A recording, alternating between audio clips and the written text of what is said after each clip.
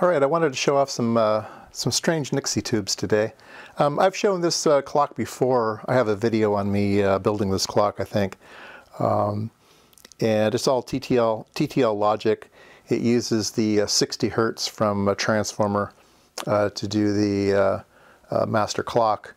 And if I can, let me briefly turn off the turn off the room lights. If I can find the control.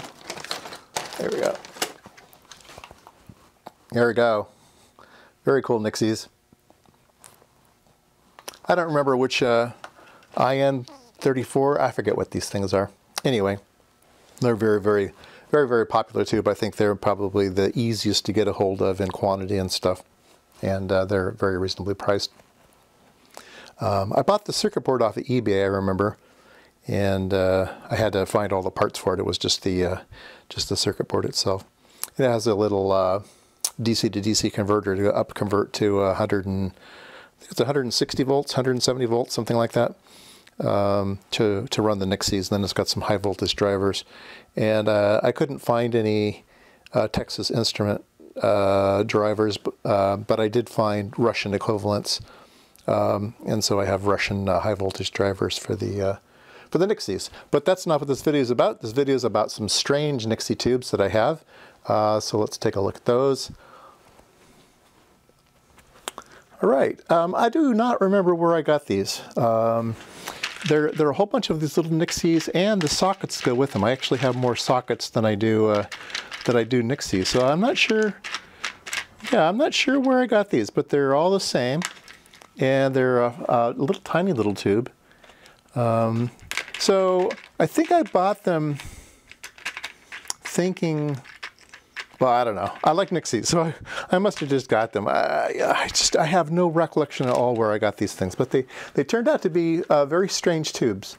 Um, let's see here if I can get a part number off of them. They are National Electronic. Let me get my, my magnifying glass here.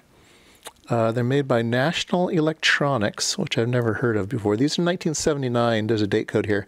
1979, 34th week of 1979. Um,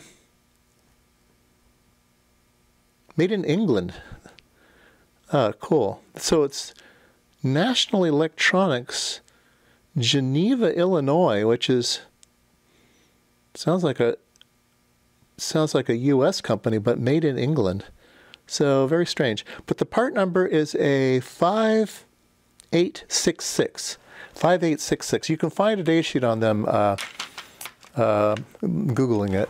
Uh, but I'm going to, uh, I'm going to light one up and uh, I'm going to do that. I need a high voltage power supply, so I'm going to use this thing.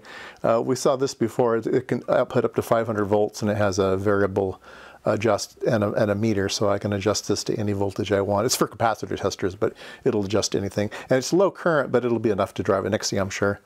Um, and then I've got a Nixie over here in the uh, right there. And I'll, I'll, I'll, move the camera in closer so you can take a look at the Nixie while I light it up. But what I'm going to be doing is uh, uh, connecting to the uh, plus and minus leads here. I, I, have a 100, I mean, I have a, um, a 1K resistor in series just to limit current in case something funny happened. Uh, and the Nixies should fire around 170 volts, above 170 volts. I think that's the maximum. That they'll fire at at least 170 volts. And uh, then they have a quiescent operating current of 145 volts. So that's why I have that uh, resistor in there as well, because they fire at a high voltage, but then they start clamping down at a lower voltage around 145 volts. So um, yeah, let me, uh, I have uh, the, the anode hooked up and then the, uh, the ground ground lead, I'm going to poke around on those different leads and we'll light up the different uh, different segments of the display. They're basically just a neon light bulb with just different pieces of sculptured metal uh, that glows different uh, different signals, so different shapes, right? Um, so yeah, let me uh, let me change camera lenses and we'll get up get up close to this little guy before we light him up.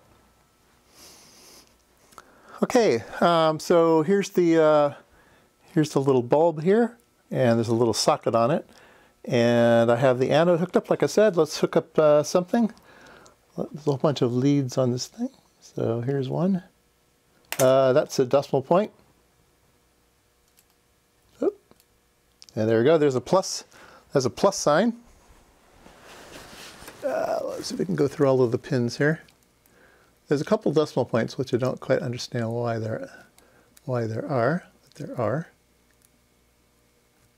And that's my coolest, oops, that's the coolest thing on there. I don't know why. There's a sine wave, that's pretty cool. And here's a minus sign. And then the only other thing is this weird, see if we can get it going all the time. Yeah, this one. So this one's really strange. Um, just kind of everything's lit up. That back back thing is all lit up, so I don't know what that's all about. Anyway, uh, yeah, so there's a plus and a minus and a sine wave, so that's kind of cool. Uh, there's the plus and there's a minus uh, in the sine wave, that's cool.